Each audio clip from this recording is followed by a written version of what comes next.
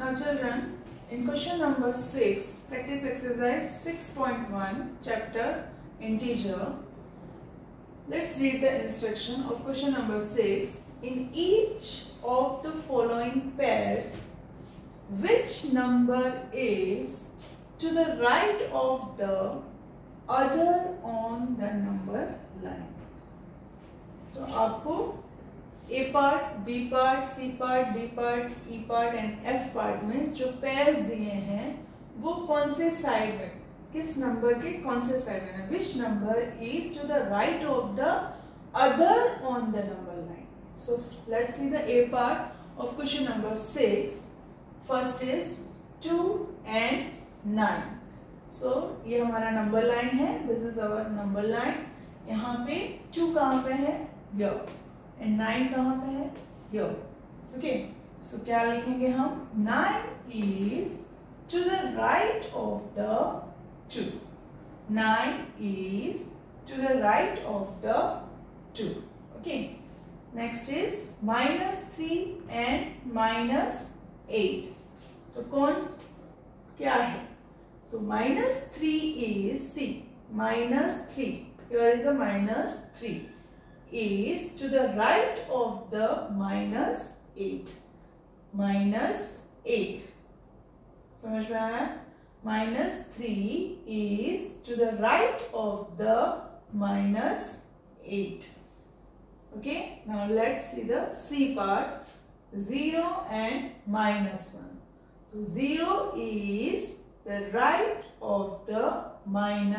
so 0 is the right of the minus 1 zero is the right of the minus one यानी कि आपको इस number line की help से ये चीज़ को समझने की कोशिश करनी है and remaining one D E and F I am giving as a homework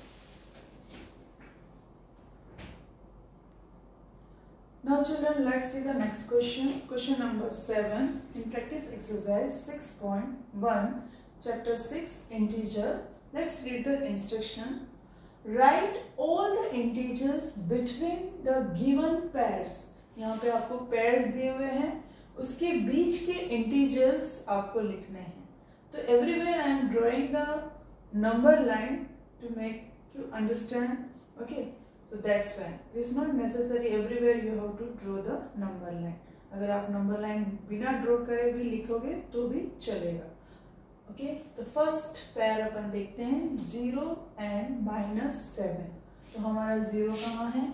ये माइनस सेवन इज़ हियर तो इसके बीच के नंबर्स और क्वेश्चन में आपको इंक्रीजिंग वे पे लिखना है. It's given in the question that increasing order increasing order से लिखना है.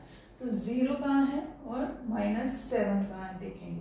तो इंक्रीजिंग में हम कैसे जाएँगे? उल्टा, यानी कि माइनस सिक्स पहले लिखेंगे देन क्योंकि हमारे लिए माइनस सिक्स जो है छोटा है। उसके बाद माइनस फाइव इससे बड़ा बनेगा। Then minus four then minus three then minus two then minus one तो हो गया ज़ीरो से माइनस सेवन के बीच के numbers integers between zero and minus seven are how we are going to write the answer integers between 0 and minus 7 are minus 6 minus 6 minus 5 minus 5 increasing way में लिखना है minus 4 minus 4 minus 3 minus 3 minus 2 minus 2 and minus 1 इसके बाद तो zero आता है okay so this is your answer now let's see the b part b part में minus 4 and plus four minus four and plus four so हमारे number line में कहा पे है? माइनस फोर या and plus four is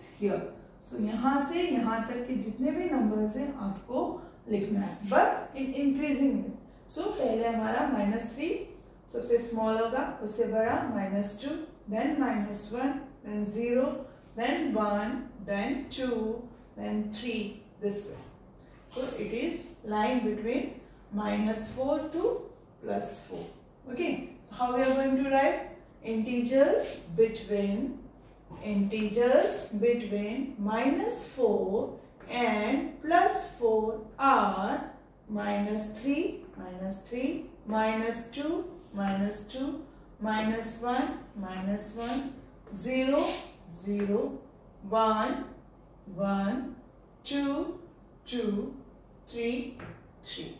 This way. Okay. So, this is the B part of question number 7. So, now in this way, same you have to write down the answer of C and D. I am giving as a homework. C and D. Thank you.